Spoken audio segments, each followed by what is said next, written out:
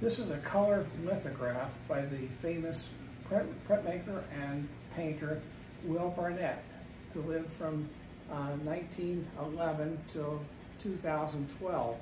Uh, so was over 100 years old when he passed away. Uh, he was based in New York, but he came out of Boston.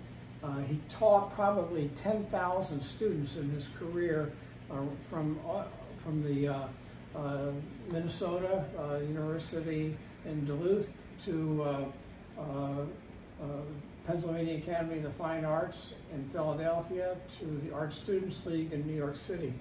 And many artists, including Bob Kane, studied with him.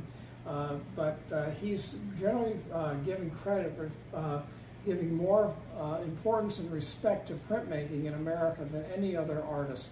He did quite a few prints starting in the 1930s and up until this was 2007.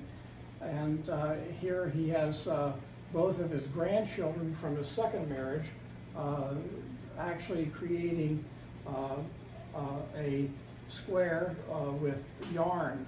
And this is part of a series that he did with uh, animals as well uh, that were holding the yarn into different geometric shapes. Um, so uh, Will Barnet is in about 300 museum collections worldwide, including the Vatican collection and the Metropolitan. All the museums in New York have his work. And uh, they're working on a new book to honor his life, uh, which should be out in a couple of years. so uh, very special work by the American master Will Barnet that was a gift to the artist just before he passed away.